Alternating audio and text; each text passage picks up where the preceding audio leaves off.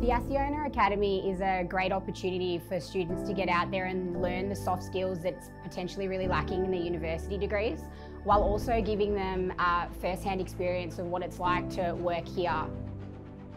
Essentially, they've had a lot of soft skills training ranging from communication, leadership, as well as some internal training provided by one of our project managers, giving them an idea of what kind of work they would be really doing with us, and also a fantastic site visit halfway through the week out to a rail and wind site. One of the real strong points of this week is the meet and greet and face-to-face -face interaction that the participants are getting with our management. Uh, every day there was a coffee break where they got to interact with a number of our senior directors, senior project engineers across all the businesses, uh, as well as also getting to meet some people from Engineers Australia, getting an understanding of what our graduate program would really be providing them and what kind of opportunities there are for them in the market.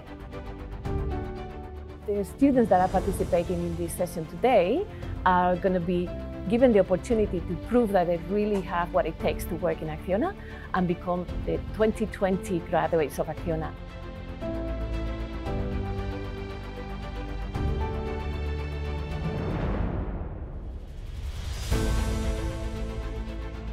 My time over the past uh, week at Acciona Academy has been really eye-opening. It was very interesting to hear that um, there's no one way to sort of get where you want to be. Helped me to sort of consider what I should do and how I should continue through my career.